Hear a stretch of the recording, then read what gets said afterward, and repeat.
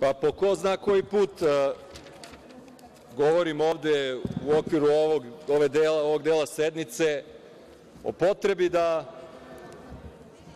se u Skupštini Srbije formira anketni odbor kako bi došli do nekih odgovora oko događaja koji su se desili, ponavljam, 24. aprila 2016. godine. Posle ove dve i po godine jedini epilog koji je u državi Srbiji se desio je uslovna kazna za policajca koji je te noći bio dežuran u policiji u operativnom centru, gde su stigle brojne prijave građana koji su u strahu od toga što maskirana lica, naoružana, privode ljude, što se ruši bagerima,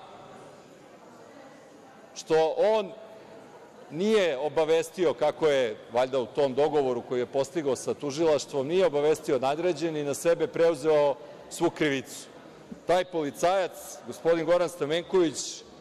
kažnjen je dve godine uslovno, a posle dve i po godine, evo,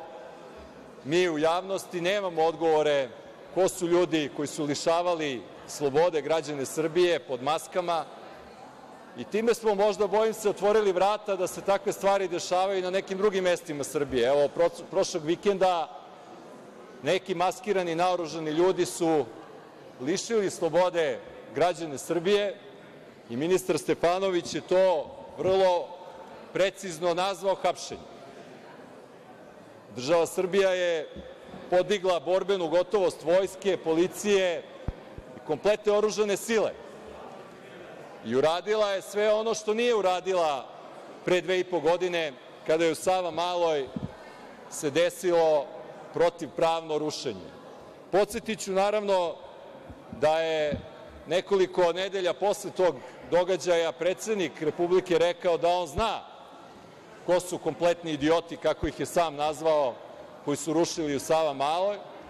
ali ne znamo da li ga je postupajući tužilac, ne znamo više ni koje je tužilaštvo nadležno, jer smo mogli za ove dve i po godine da pratimo igranku između osnovnog i višeg tužilaštva oko toga ko je nadležan da vodi istragu, da li je to tužilaštvo saslušalo predsednika Republike koji je javno rekao da ima saznanja i da zna ko su ljudi. Zato mislimo da je potrebno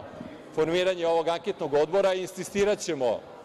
pošto verujem da nažalost nećemo dobiti podršku za to, na svakoj narednoj sednici kada budemo imali priliku. Hvala.